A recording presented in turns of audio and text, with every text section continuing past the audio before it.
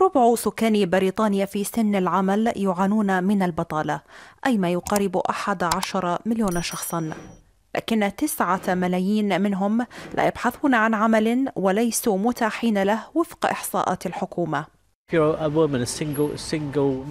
إذا كانت الأم هي المعيلة الوحيدة ولديها عدة أطفال ولا تستطيع العمل وبالتالي فإنها لن تتقاضى أجرا ولكن هناك أيضا أشخاص ببساطة لا يريدون العمل لأنهم كسالى.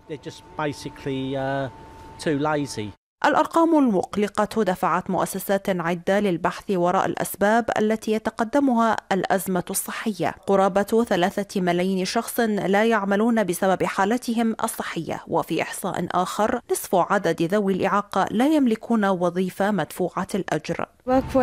أعمل في هيئة الصحة الوطنية منذ 22 عاما. الفواتير ترتفع ولكن الرواتب لم ترتفع يوما. ومن الصعب جدا أن تتأقلم. وبالنسبة لي فأنا أعمل عملا جزئيا ولا يزال الأمر صعبا ووفق مسؤول في جاينت ريد أكبر شركة توظيف في البلاد فإن الضرائب المرتفعة وغلاء الأسعار في السنوات الأخيرة يعد من أحد الأسباب حيث يدفع الموظف 20% من الضرائب على ربح سنوي لا يزيد عن 12 ألف جنيها.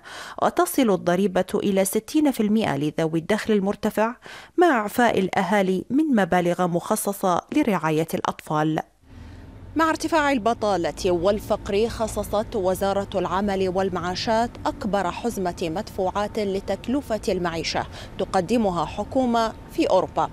وتقول الحكومة لولا هذه التدابير لكانت نسب الفقر أسوأ بثلاث مرات. براء العزاوي المشهد لندن.